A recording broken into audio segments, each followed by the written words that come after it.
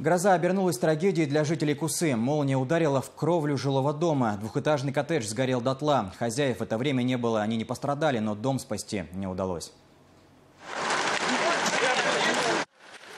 Во время грозы дождем размыло дорогу, поэтому, когда пожарные доехали от дома Коротковых, почти ничего не осталось. Сами хозяева в это время находились в гостях в Златоусте. И когда вернулись, вместо своего жилья увидели пепелище. Очень переживаю, что маленькая дочка осталась без одежды, и старшая также. Вы сами? И я сама, муж. Ни мебели, ни бытовой техники нету, ничего, не спать нигде, ничего, ничего не осталось, и все сгорело. Дочке поступать на следующий год, 11 класс будет заканчивать в институт.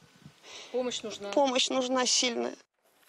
Сейчас на месте, где был когда-то их большой дом, лишь фундамент. Семья с двумя дочерьми 17 и 2 лет вынуждена жить у родственников. Елена работает в Центре реабилитации подростков с ограниченными возможностями. Муж в Центре помощи детям-сиротам. Средств на то, чтобы быстро восстановить дом, нет. Коротко нуждаются в поддержке. Необходима одежда, обувь, детские вещи и стройматериалы на восстановление коттеджа.